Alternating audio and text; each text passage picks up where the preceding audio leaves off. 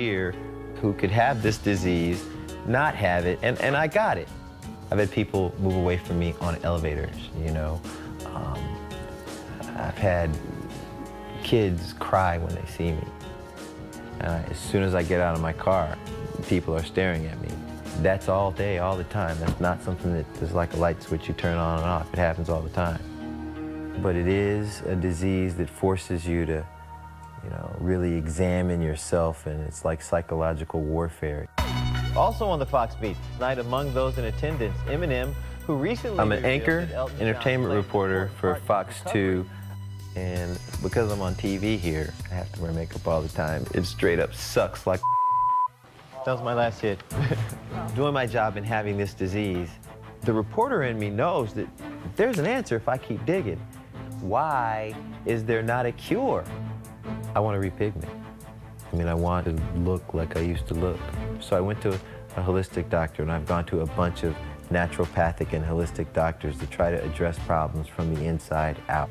I have a regimen that I've started that I think bring back pigment. This is Paba, this is cod liver oil, beta TCP. This is called Pigmentum, recolor neem, and it's just a plan. This is the Ayurvedic medication. This is the cream that goes with it. The old me is like, I would never be one of those pill guys. How far would you go to cure yourself? I know it's possible. So I'm very excited about the possibility that I could fully repigment.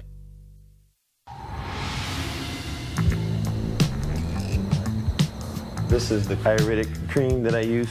I put it on my face and ears and stuff. Three times a day I take supplements just to help everything out.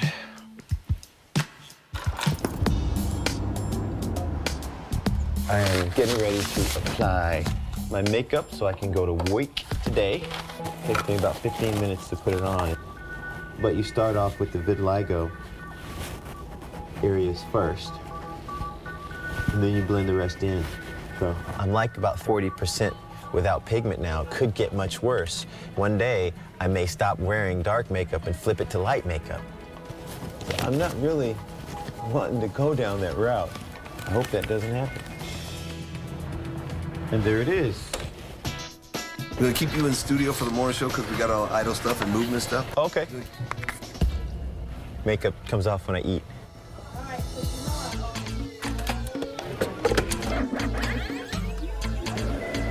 Least one of them I need to get done for tomorrow. Thanks. Bye. Uh,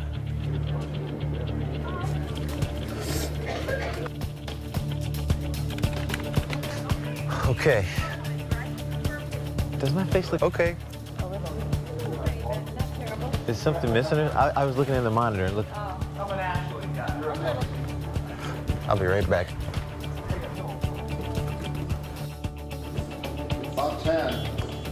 Here we go. American Idol season eight is over and the tour begins for the contestants. But what about those judges? Sometimes when, you know, when I sneeze and I have to wipe my face and makeup, it comes off, and I have to do touch-ups throughout the day. So we're here at the station, and I'm gonna talk to the makeup specialist from Cover FX about this new makeup that I wanna try. It'll help it stay a little better. I'm gonna give it a shot. Why don't you have a seat? I can sit here, yeah. So, how is it going?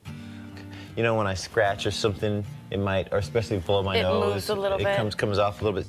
Okay, using a setting powder with it, or you know, a makeup primer underneath Mm-hmm. it. Th- those products are really the seal to keep the makeup in place, Okay. so that it doesn't look shiny or oily. Mm-hmm. So let's go ahead and get started. So, what are you thinking?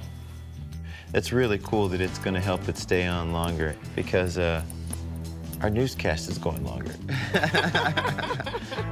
How many people do you think you, you work with who have vitiligo? Uh, probably about 50 or 60.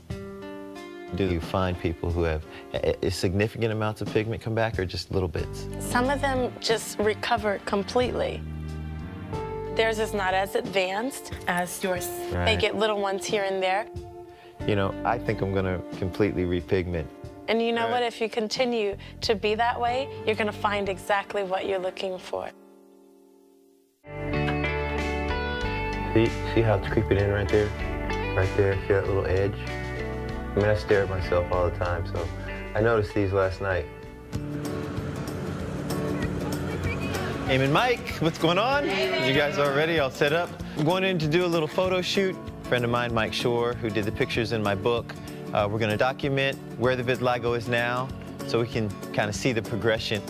I'm excited about this one. I tried a little, a little something with uh, the things that I think would help repigment, and it, and it worked. So Really? pigment started coming in pretty, like freckling in.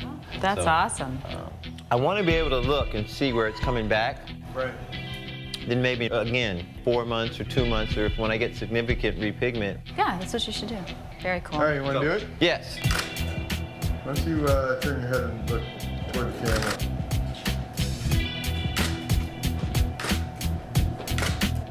You want to take a look at some of these? Sure.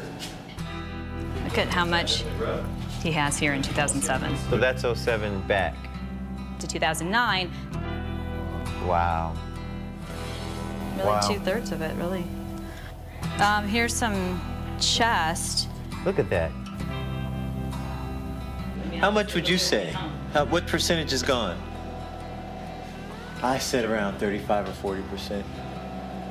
Um, It's It's a lot, More yeah. than more than 50. Yeah. Maybe 55 percent gone. 60. yeah. It's gotten worse before it's gotten better. The changes, eye-opening a little for me because I, I couldn't, I can't see everywhere, so I got to see things I hadn't seen before. And it gave me more fuel to remain vigilant with this diet. No matter what anybody else says, it's a possibility that I could fully repigment. I'm telling you, I believe it.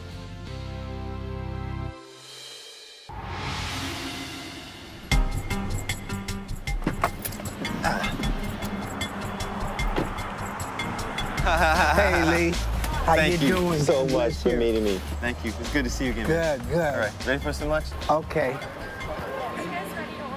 Yes. I like the baby spinach salad.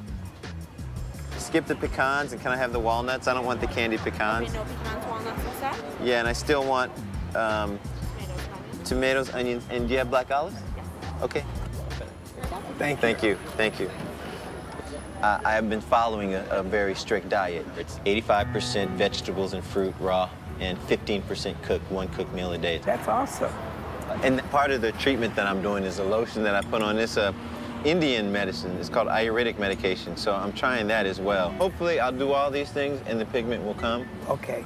You had it since you were three? Since, since I was three years old. Since you were three. And and uh, when I, my mom, she took me to uh, a doctor, and they knew nothing about this at all. Right. And the uh, gentleman took me and laid me on something like a cookie sheet, Mm-hmm. and they slid me under these bright lights, slid me in there, and they would bake me, try to bake my body to your turn me pigment come pigment to come back.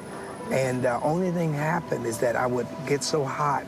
Right. It would blister my skin, Right, and they would right. pull me out and put oil and ointments on me and slide me back Right, in. right. And they took pictures of me to see before and after, Right. and and all of these things. And none of that worked. None of that helped.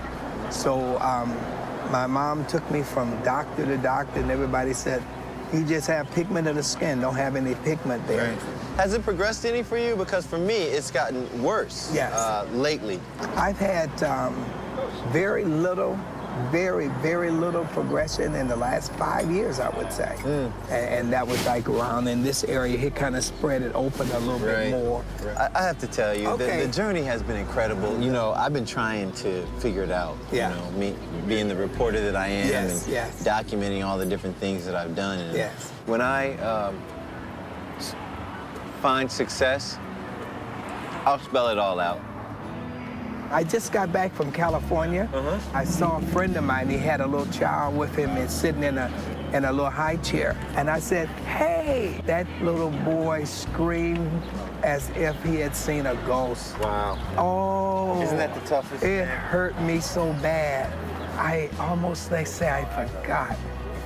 And when I got home, I looked in the mirror, I said, I don't blame the child. You don't see a person with vitiligo every day. Yeah, a lot of people are still hiding, you know? Yeah. Afraid, still afraid to come out the house.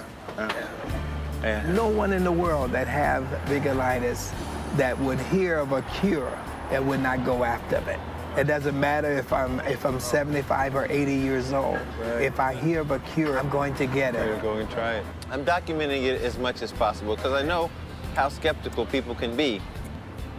If I can find my way out of it, um, we all can.